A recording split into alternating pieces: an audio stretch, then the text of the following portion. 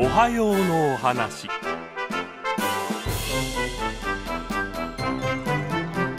ータンの宝物。お母さんはクータンをぎゅーっと抱きしめました。それから病院に連れて行きました。するとお医者さんに「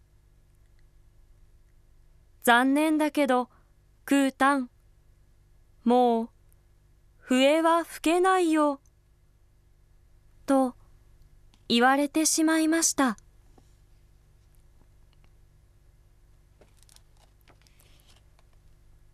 クータンは悲しくて悲しくて毎日毎日泣きました。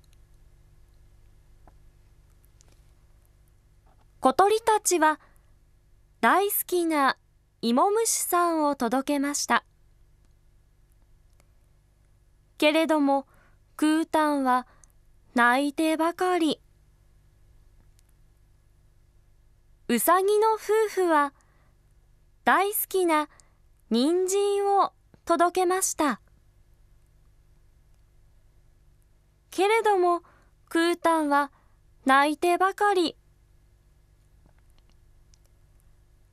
カエルのケロくんはクータンの大好きな蜂蜜を届けました。けれどもクータンは泣いてばかり。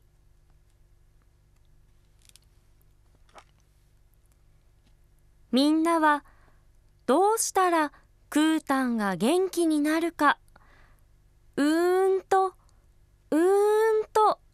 考えました。クータンが好きなもの。そうだ。その日からみんなは大忙し。木を切って。